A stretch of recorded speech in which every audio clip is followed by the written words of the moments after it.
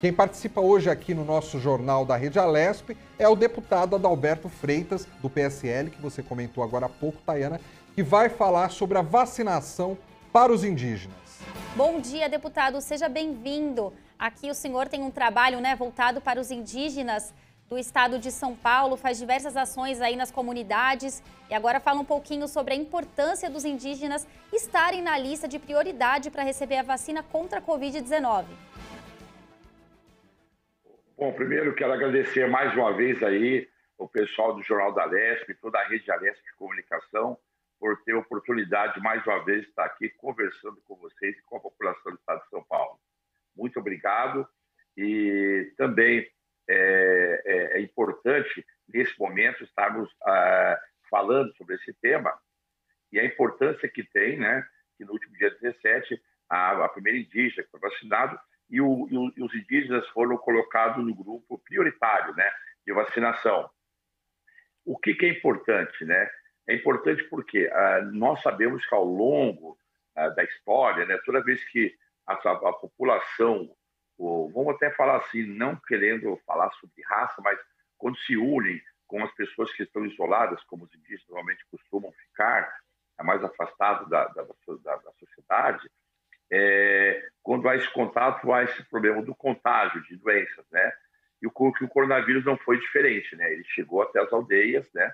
E como, além de ser uma, uma população do número reduzido, e tão propenso também, por não ter contato com a população, tão propenso a ter aí um, um, um impacto de infecção muito maior. Então, agradeço aí todos o, o pessoal do governo que tomou essa medida, né? De colocar os indígenas como no grupo prioritário.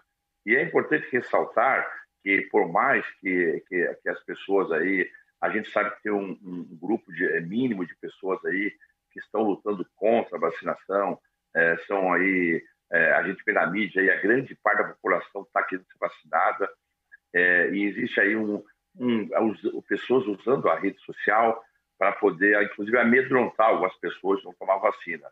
Mas, é, graças a Deus, as pessoas estão tomando consciência dia após dia que há necessidade de tomar vacina para a gente poder dar uma minimizada nessa infecção. Agora, deputado, uma das bandeiras né, do seu mandato é realmente a, com relação às comunidades indígenas, né? Até porque o senhor é descendente de indígena também. Eu queria que o senhor falasse um pouquinho né, desse seu olhar voltado aí para esse público. Olha, é, é, é importante ressaltar é, assim, é, todo o contato que a gente tem com, a, com, as, com o pessoal de aldeias, né, é, a gente sabe que eles trazem ali na ancestralidade e na crença, né, que a cura pode ser através aí é, de métodos que foram aprendidos, foram passados de pai para filho durante é, de todas as etnias, né. Mas nós sabemos, temos consciência absoluta e eu faço questão de as conversas que eu tenho com eles, estou tendo conversa diariamente com o pessoal das aldeias, né é que, é, é que deixar de lado um pouco isso e acreditar um pouco mais na ciência, um pouco mais na saúde, um pouco mais nos nossos, nossos diretores aí de saúde que estão coordenando todo esse trabalho, é, a direção toda dos hospitais e, e centros de pesquisa, é, porque nós sabemos que a crença que nós temos é, não e, e, a ancestralidade não vai fazer, não vai ser suficiente para nesse momento que é muito agressivo. Eu até é, estendo um pouco mais o, o, aí o comentário, é, que nós estamos vendo aí o mundo inteiro sendo afetado por essa pandemia, coisa que nunca aconteceu, acho que na história do mundo. A gente sabe, houve algumas pragas, é, algumas outras infecções, mas foram localizadas em determinados locais. Essa pegou o mundo inteiro. E, e nós sabemos que tudo que nós estamos vivendo é, são coisas assim, inéditas, né? É, eu acredito que eu estou com 60 anos, eu acredito que vocês aí têm um pouco menos, mas nunca passamos por uma situação como essa, de ver todo mundo mobilizado para tentar fazer alguma coisa para salvar vidas, para poder é, é, é, trazer um pouco de saúde para as pessoas, né, fazer a saúde integral para as pessoas, e muitas vezes a gente não sabe como fazer.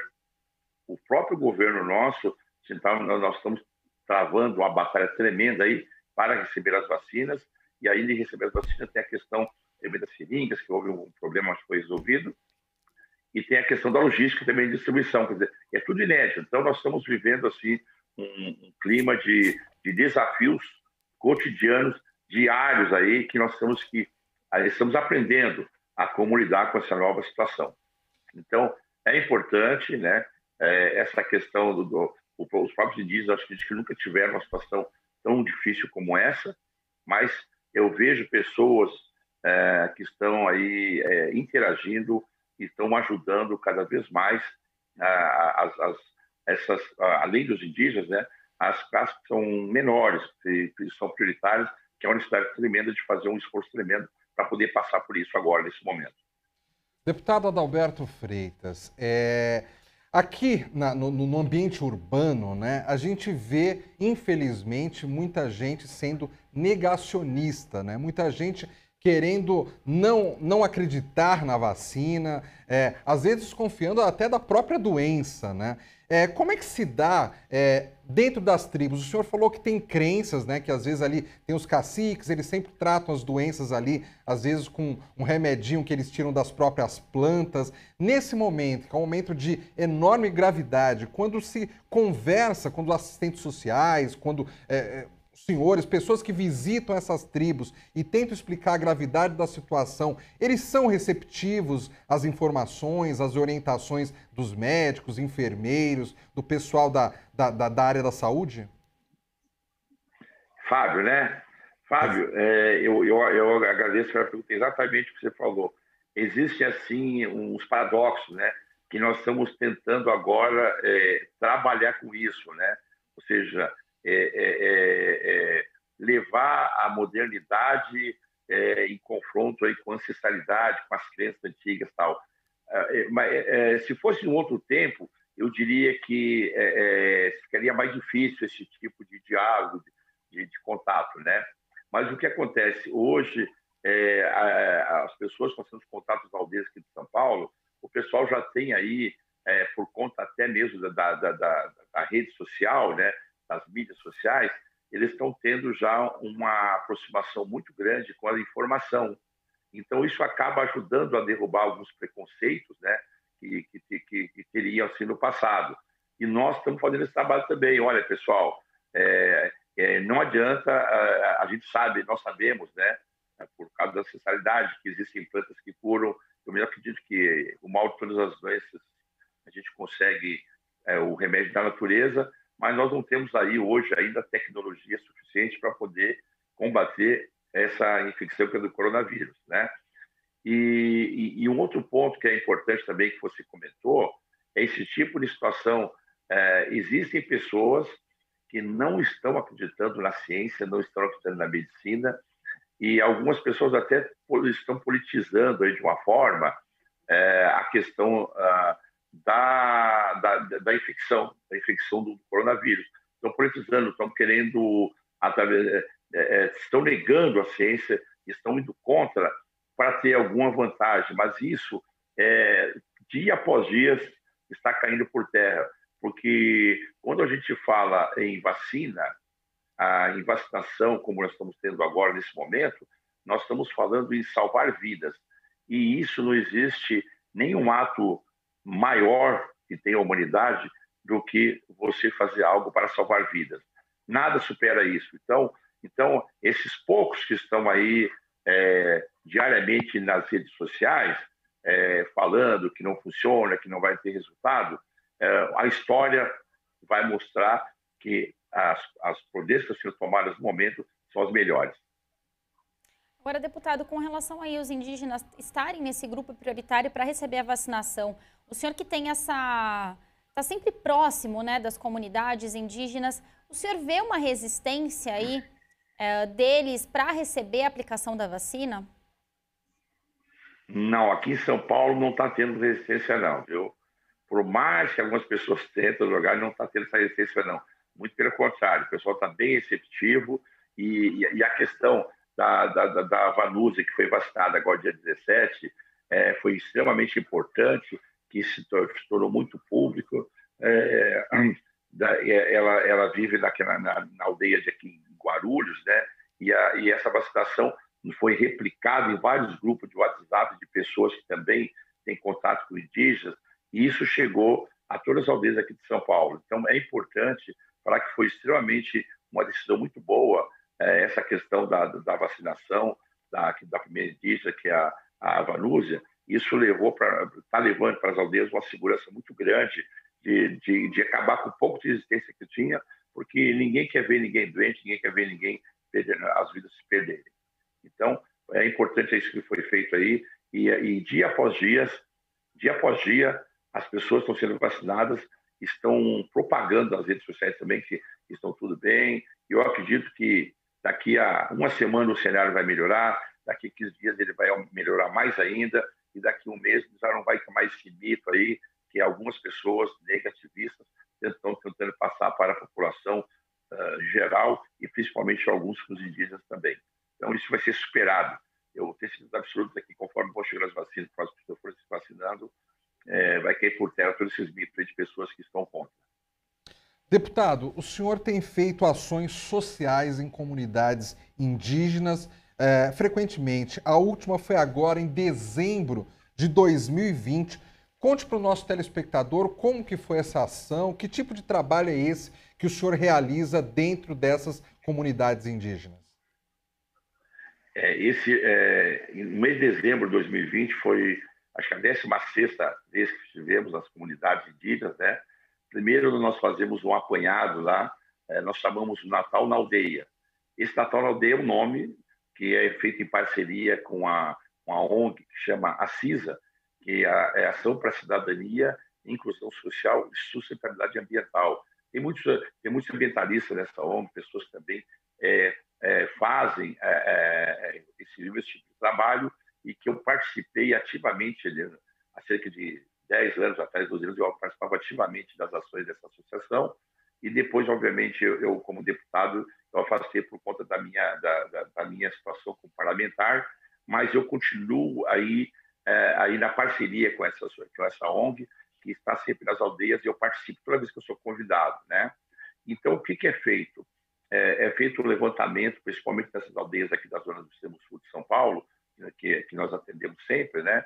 É, na, na questão do Natal, a, a gente faz um levantamento aí das, das crianças de 0 a 12 anos e, e próximo Natal, aí na primeira quinzena de dezembro, para não ficar muito em cima, a, a, gente, a gente pega, faz um, esse levantamento e conseguimos aí é, apadrinhar crianças indígenas, né? Conseguimos aí junto à classe empresarial, até mesmo alguns parlamentares já estão participando com a gente e a sociedade de um todo, é, para participar apadrinhando uma criança indígena.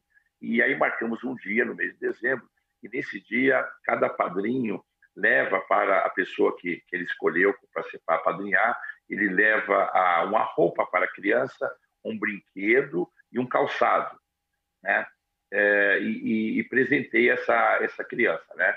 É, isso é um é, a gente faz isso normalmente é, Natal, mas o ano inteiro a gente a gente fazíamos ação, continuamos indo agora com menos frequência por conta da pandemia.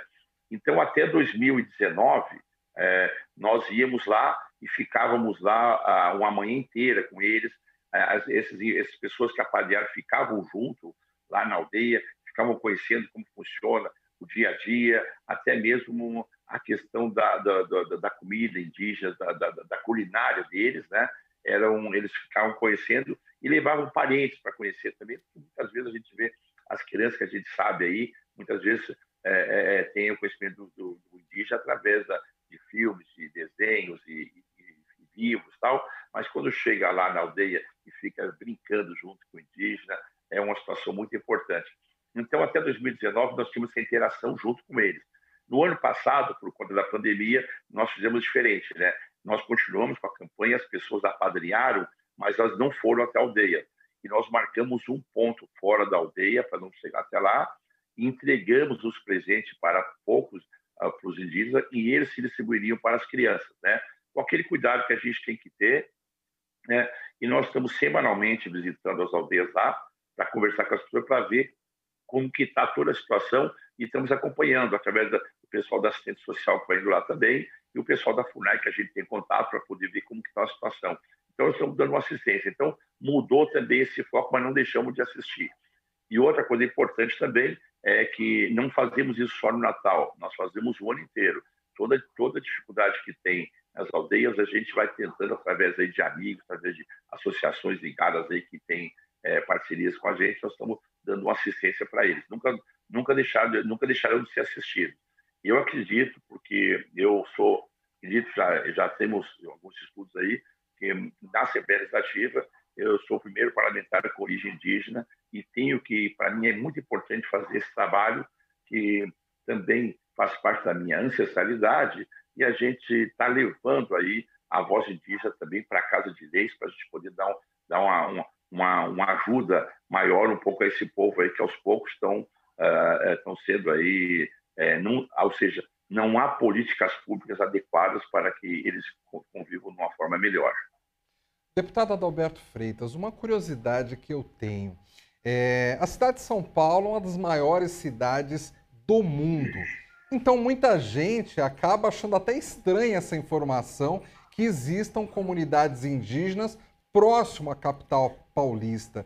Quando nós falamos dessas comunidades indígenas que o senhor costuma visitar, é, nós estamos falando num raio de quantos quilômetros mais ou menos aqui da capital, é, deputado. E uma outra curiosidade: esses indígenas, eles vivem da agricultura ou são índios que saem para trabalhar e voltam para a aldeia no final do dia? Tenta passar essas informações para a gente, que são curiosidades que eu tenho certeza que os nossos telespectadores também têm. Aqui na capital são cinco aldeias que estão é, do lado aqui da gente, entendeu? Temos essa, essa temos a, que não são, são aldeias grandes, mas da aldeia grande saem vários núcleos de aldeias, então tem muito espalhado. Na região de Palheiras nós temos duas aldeias que são grandes, né? que é a Terandeporã e a Crucutu, e temos uh, aldeias também aqui é, na região uh, de, uh, do Ceasa, nós temos aí do, do, aldeia, temos uma aldeia aqui na, na região do, do Murubi, do, aqui na, como chama, esqueci o nome agora, mas aqui na região do, do Murumbi nós temos uma outra aldeia também, que é visitada frequentemente, né? E temos as aldeias, principalmente as aldeias onde tem mais é, é, pessoas que frequentam, é, onde tem mais habitantes, é, aldeias aqui no, na, na, no, litoral de São Paulo, tanto no litoral sul de São Paulo, na região de Peruíbe, na, bem no fundão assim, do, do, do, ali do, do litoral sul, e, e temos também é, é, é, na região, na, no, no, litoral norte, em Bertioga. Em Bertioga nós temos ali uma, aldeias indígenas que a todo ano é feito uma, uma, uma reunião com todas as aldeias de, de indígenas de São Paulo, inclusive vem pessoas de índios de outros estados para participar desse encontro que nós temos. Deputado Adalberto Freitas, deputado, eu posso interrompê-lo um minutinho só para dar um recado aqui, a gente já volta é, com o senhor. Você acompanha, você acompanha a partir de agora a transmissão do ato solene contra o fechamento da Ford no Brasil, evento promovido pelo deputado Teonílio Barba do PT. O ato solene será transmitido virtualmente. É, o ato solene será transmitido em ambiente virtual e também transmitido aqui pela Rede Alesp. Você assiste então nosso jornal agora pelo nosso canal no YouTube. Deputado Adalberto Freitas, voltando aí, o senhor estava dizendo que no litoral aqui de São Paulo existem às vezes eventos que vêm é, é, indígenas de outros estados até, é isso? Exatamente. Há um encontro anual que é feito na, na, na semana do dia, em abril, na semana de, de que é o, é o dia 29 de abril, é feito um encontro é, semanal. Então vai aí do dia 19 até dia 22, 25, né? onde há um encontro de todas as aldeias no litoral de São Paulo, né, na região de Bertioga. E, e, obviamente, esse ano, no ano passado, não pôde ter, né, por conta da pandemia, e, mas há uma frequência com a questão da rede social, de grupos que foram criados, então há uma comunicação grande aí entre as aldeias indígenas, né, e isso é importante para nós, porque a gente está sempre informando o que está acontecendo, e a gente vê alguma aldeia, às vezes, toma uma, uma, uma uma decisão ali, ó, vamos tra trabalhar desse jeito. E aí eh, funciona lá, a gente passa para outra aldeia é, e estamos sempre levando alguma inovação para poder entrar naquilo que você perguntou também. Ou seja, como é que o pessoal vive? Normalmente é uma, é uma, uma, uma vida simples, eles vivem da agricultura uh, local, que já que eles mesmos plantam, né, uh, para comer. Algumas. Então, a gente tem a preocupação de levar sementes, levar mudas, tal, que eles também dominam bem. E a gente pega outras técnicas que é utilizado em outras aldeias do, de Brasil afora, também para poder levar para eles. Então, é importante essa interação, né? E uma outra coisa que também ajuda a ter um pouco de, de recurso financeiro para ele são as questões dos artesanatos, né? Artesanatos indígenas.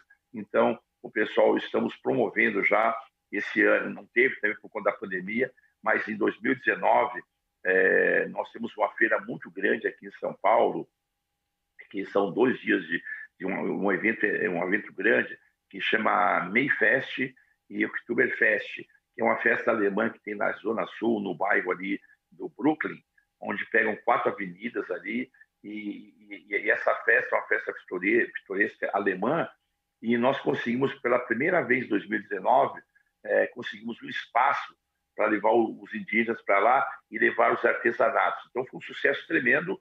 Não pôde se repetir em 2020, mas já está no nosso radar para 2021, caso as coisas aconteçam uh, como a gente espera, que essa pandemia acabe, eles vão estar participando também para a gente divulgar um pouco mais a cultura indígena que existe aqui em São Paulo e também a poder ajudar a, a, a os índios para eles sobreviverem de uma forma melhor. Está sempre lá é, um pouco mais de conforto, mas não esquecendo a tradição que é o índio ligado à terra. Isso que é muito importante. E, e, e eu vejo, uh, é, Fábio, uma coisa muito importante, muito boa também, é que cada vez mais é, tem pessoas de bom coração que querem nos ajudar. A pessoa vai e depois fica, olha, como é que tá? Vamos lá, o que a gente pode fazer? Eu tenho uma coisa para doar, tenho roupa para doar, tenho colchão, tenho, tenho brinquedos para doar aqui. E é importante que eu veja, a importância boa também que eu vejo, é, e eu posso falar eu mesmo, isso aí por experiência própria, né? É, eu tenho seis filhos e os meus filhos sempre participaram dessas ações comigo. E agora são os meus netos também que estão indo.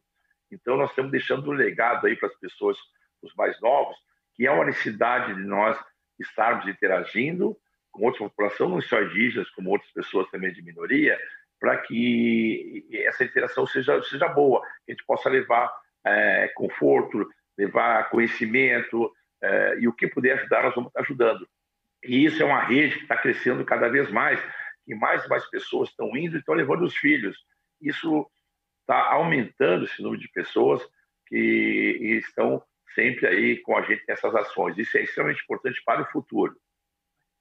Deputada, o senhor né, comentando sobre levar os filhos para conhecer também essas aldeias, não só para ajudar, mas também conhecer, já vai de encontro a uma outra questão, né, que eu queria que o senhor falasse também, da importância, né, da valorização da cultura indígena. Afinal de contas, a gente sabe que quando chegamos aqui no Brasil, né, já tinham os índios aqui, então é importante a gente continuar valorizando e eu queria que o senhor falasse um pouco também a respeito disso. Pois é, isso aí, eu particularmente, eu obviamente não quero ir contra nada, aí, contra sistema nenhum, mas quando o pessoal fala que descobriram o Brasil, na verdade o Brasil não, não foi descoberto, né? o Brasil foi descoberto pelo, pelos moradores que já, que já estavam, mas aí não, é, não dá para a gente levar esse tema que dá uma discussão muito grande aí, não é a questão agora. Mas o importante, é, nós sabemos que os verdadeiros donos da terra são, eram os índios, né? E, obviamente foi ali colocado, um, uh, foram deixados de lado. A gente sabe que houve uh, aí uh, algo aconteceu, muita coisa na história, não só aqui no Brasil como em outros países, né? Com a questão indígena que não valia a pena a gente estar levando agora porque é uma coisa que já é do passado, né?